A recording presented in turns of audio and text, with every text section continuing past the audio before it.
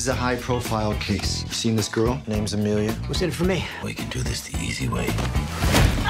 We're currently doing it the easy way. Dad, there's like whores here and stuff. Sweetheart, how many times have I told you don't say and stuff? Just say, Dad, there are whores here.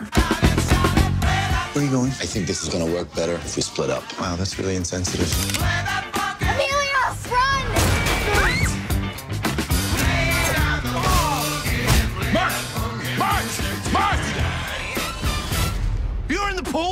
Yeah. Why? I had to question the mermaids. What were you doing while I was working? Good morning, folks. Open the drawers. You got a gun on you, old man? You damn right I got a gun on me. We ain't stealing from you, we're stealing from the bank. Woo! You hear about these bank robberies? I may have one hunt left in me. Y'all been here for a while? Long enough to watch a bank getting robbed has been robbing me for 30 years. These boys know exactly what they're doing. They're trying to raise a certain amount, that's my guess. So that's the Lee Chandler. I don't understand.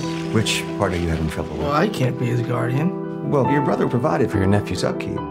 I think the idea was that you would relocate. Relocate to where? Well, if you Here? look, it was my impression that you'd spent a lot of time here. I swear. I'm just a backup. Lee, nobody can appreciate what you've been through. And if you really feel you can't take this on, you know, that's your right. This is the day they arrived. The object touched down 40 minutes ago. Mama, what's going to happen? I don't know. Dr. Banks, you're at the top of everyone's list when it comes to translations. You hear any words? Is that. Yes. Am I the only one having trouble saying aliens? So what do they look like? You'll see soon enough. They need to see me. Dr. Banks? Introduction. Captain, while a great many people see you as a hero, there are some who'd prefer the word vigilante. You've operated with unlimited power and no supervision. That's something the world can no longer tolerate. I know how much Bucky means to you. Stay out of this one. Please. You'll only make this worse. You saying you'll arrest me? There will be consequences. ZPD's first rabbit officer, Judy Hopps. You ready to make the world a better place? Bad news in this city gripped by fear. What can you tell us about the animals that went savage? Are we safe? This is priority one. Hopps, parking duty. Sir, I'm not just some token bunny. you strike out, you resign. Deal.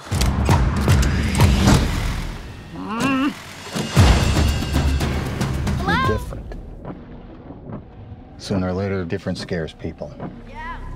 You think if you don't fight back, then maybe they'll like you. Stop picking on you, calling you a freak. Victim or not, make a decision. Your son is a remarkable young Man. I just heard you play, and I wanted. It's pretty strange that we keep running into each other.